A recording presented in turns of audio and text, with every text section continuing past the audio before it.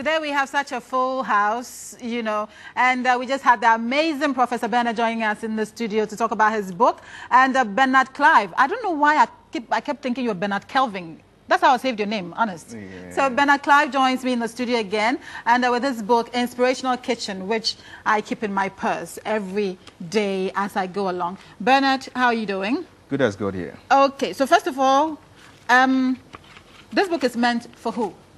Everyone. Everyone. Yes, I believe everyone needs a form of inspiration or motivation. So everyone. Is it for the, the, the depressed?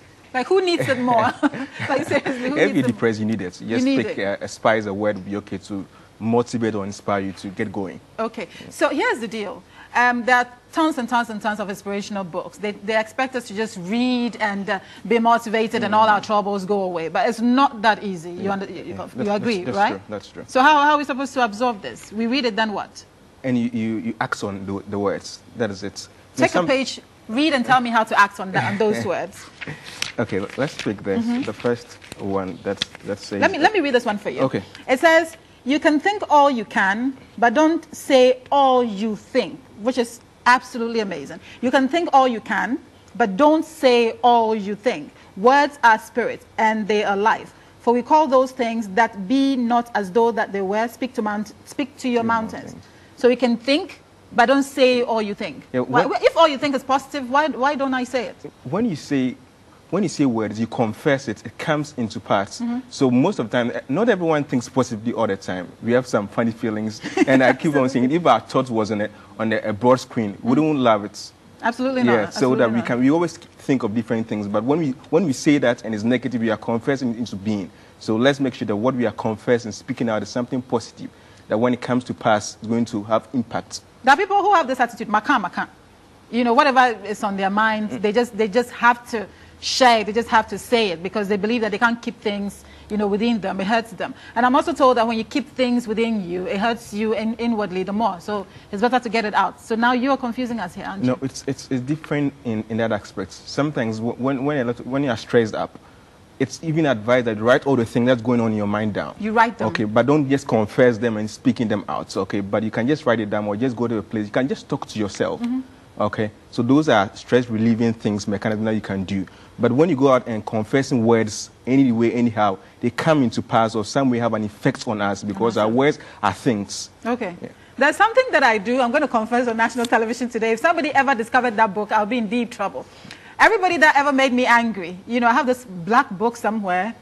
I'm not going to tell what color it is so that my people can go find it at home right now. I just go there and I write like I'm talking to you. Mm -hmm. You know, I write to you whatever insults, whatever it is that I want to say to you, I write it out. And it's amazing, by the time I'm done, I feel like i have dealt okay. with you. Yeah. So that when I see you, I don't even feel like saying those words anymore. You can try it. I mean, yeah. seriously. Write everything. If I want to tell you, hey, I hate you so much, put it in words on a piece of paper. And then when you're done, yeah. that's it. It goes away. That's right? a great therapy.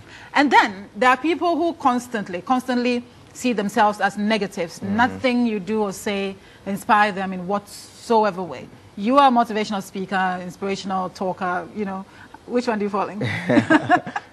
what do you have to say to people like this? You know, everyone has something that inspires or motivates him or her. So if you don't find the source, whatever you do can inspire the person. Speakers can speak, there could be books or videos, but if you don't act on those things, if mm -hmm. you mm-hmm. don't find the things that trigger you excitement, that sets your heart on fire, you won't be motivated. Mm -hmm. So we all have different sources of motivation and things that inspire us. So when you find your source, you'll be on fire.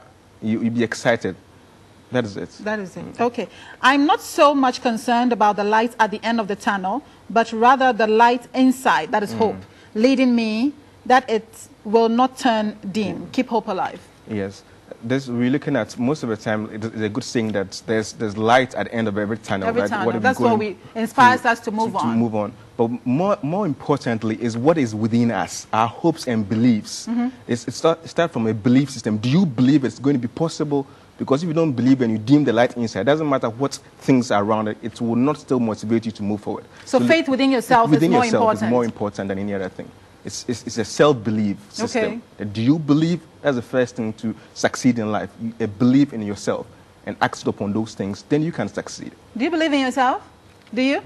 Okay, he does. He does. The future belongs to those who believe in the beauty of their dreams. Dreams do come true. Dream big and live your dreams.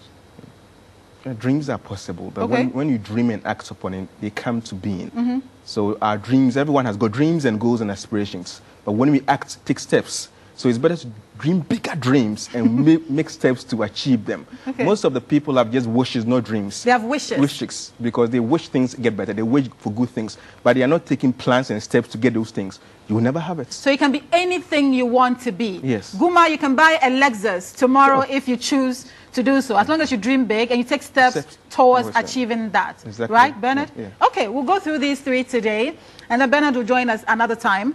This book is called The Inspirational Kitchen. Discover 30 ingredients to spice up your life. What are, give me some of the ingredients I can use to spice up my life. Words are number one. So th- all these are made of words. Okay. Positive, affirmative words that you can confess and act upon it. Okay. Then you can be inspired. Then you can be inspired. Wherever you see this book, please grab a copy. It's, it's amazing. And you can be anything, anything you want to be. Just start right now. Maybe you're watching me, you're so depressed, your life is in shambles, you think, you know, yes, I can do it. Challenge yourself.